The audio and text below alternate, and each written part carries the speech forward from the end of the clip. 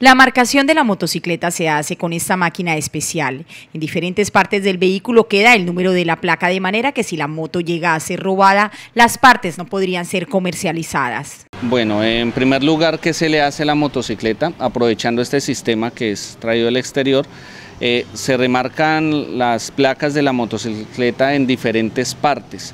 Eh, ¿Cuál es la ventaja de este sistema? Este sistema táctil nos da la posibilidad de adaptar eh, el, elemento como tal que realiza la marca a cualquier superficie, o sea, lo podemos adaptar a, la parte metálica, a la parte plástica también igualmente, y eso pues nos va a facilitar en el momento de cualquier verificación la recuperación de las motocicletas desde luego.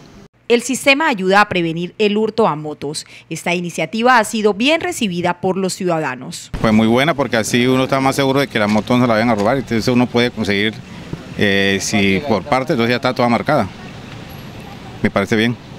Excelente porque así puede uno encontrar las cosas que pronto le roban la moto, los, los repuestos y cualquier cosa, pues me parece una cosa espectacular. A partir de las 2 de la tarde hasta las 5 y 30 de la tarde del día de hoy, uniformados de la policía estarán haciendo la marcación de motos en el parque principal del barrio Gaitán, ubicado en la comuna 3 de la ciudad.